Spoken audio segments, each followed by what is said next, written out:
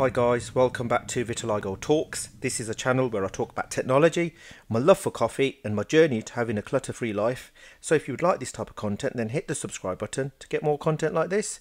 This is the Jabra Speak 510 speaker. It is a corker of a product for those who are working from home during the lockdowns around the world due to COVID-19, students who are at college and university and for parents who are homeschooling their children. I shall link this in the description box below. It is £81.99p from Amazon.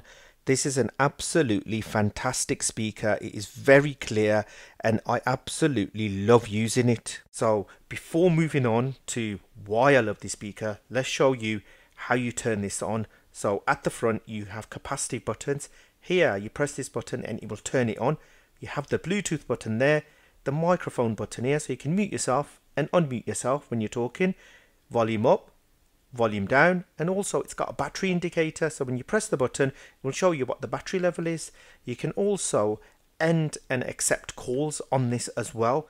This Bluetooth USB connector is very important if you want to connect it to your laptop and walk around the house. Now, I had lost mine uh, on an occasion and I could not find it. And I tried to find a replacement uh, on the internet and the cheapest one that I could find was £45 which is half the price of this speaker so don't be losing this. This USB connector is used to connect your speaker to your laptop. Now if you are running out of juice on the speaker then you can use this USB lead that is hardwired into the speaker and connect it to your laptop. You use this lead to recharge the battery as well. Now if you are enjoying this content then a sub to the channel would be Ace.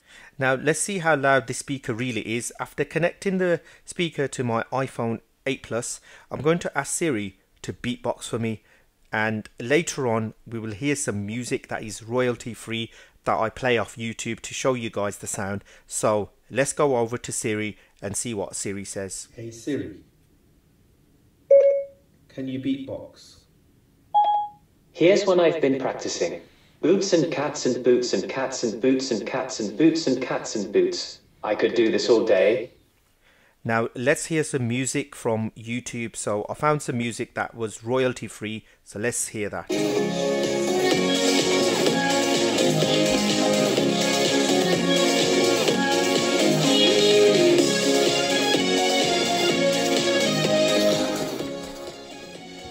Now that is pretty loud, I'm sure you guys would agree with me. What I'm going to do next is increase the volume slowly so that you can hear exactly how loud the speaker is. So let's do that now and you guys will hear that.